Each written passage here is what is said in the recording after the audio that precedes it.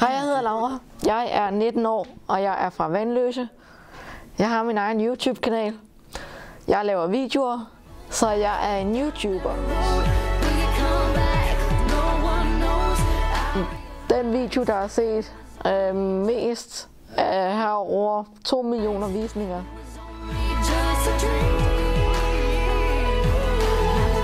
Og jeg har lidt over 5.000 øh, følgere. Da min lærer hørte om det, faldt han bogstaveligt talt bagover. Er det rigtigt? Ej, ej, ej, ej. Han var helt i chok. Det jeg laver, er, at jeg tager nogle clips fra øh, en serie eller øh, en film, og så tager jeg noget musik ind over. Jamen det jeg laver her, det er, jeg er i gang med at lave en video til den her gay parade. Øh, jeg tager nogle clips fra The Fosters, og øh, for eksempel der, hvor de er søde. For eksempel her. Øh, og så snakker de lidt, og, og så tager jeg der, hvor de kysser lidt på kinden og sådan lidt. Og så har jeg noget musik indenover, og det er sangen Imagine med John Lennon. Uh, det her det er bare så et cover. Og grunden til, at jeg valgte Imagine, er fordi, at jeg synes, den passer. Øh, og fordi jeg, jeg kunne godt tænke mig at prøve at lave den med Imagine.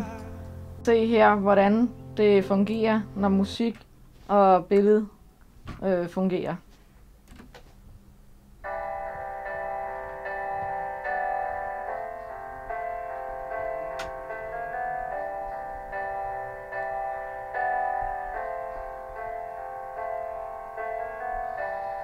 Imagine there's no heaven. It's easy if you try. Øh, musikken skal passe til klipsene, ellers så synes jeg ikke, det bliver godt. Fordi jeg, jeg synes, at det skal have en mening. Fordi at hvis jeg nu laver en trist øh, video, så skal man blive ked af det. Sådan så at man kan se, at scenerne øh, faktisk passer til sangen. Fordi ellers så bliver man ikke ked af det. Men jeg skal jo kunne føle tingene, der bliver sagt.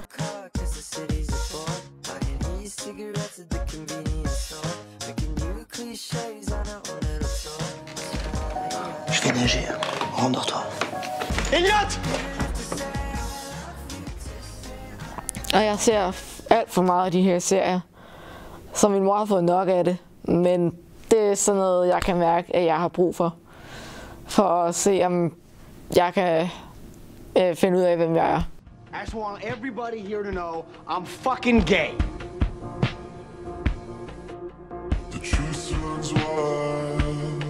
Gay people bother me because they're destroying the planet. Look, it was Adam and Eve, not Adam and Steve. They're not in love, they're confused and sick. But your opinion and similar ideas contribute to actual laws being made against gay people. So if you have an opinion Jeg about startede med at se Skam, I don't øh, og så blev jeg forelsket i det her par fra sæson 3. Nå er det så vi har tvinnet oss opp kattestøvs også. Og katt, ja. Jeg så ikke tangen, men... Og så øh, gik jeg så ind og så nogle fanvideoer med dem. Og så tænkte jeg, det er da noget spændende noget, og det er virkelig godt. Øhm, så jeg tænkte, det vil jeg sgu også prøve at se, om jeg kan finde ud af. Jeg er forelsket i øh, Skam og det Foresters, fordi at øh, der er homoseksuelle og biseksuelle og lesbiske med. Øh, og bare den måde, at de øh, er usikre på sig selv, Øh, det kan jeg godt forstå, fordi sådan har jeg det også. Jeg er selv usikker på, hvem jeg er. Jeg er i gang med at finde ud af det. Hvem jeg er tiltrukket af. Oh, beautiful sunrise. Oh, there's so much they hold. And just like them old stars. Cattle always wins. You've come so far to be right where you are. How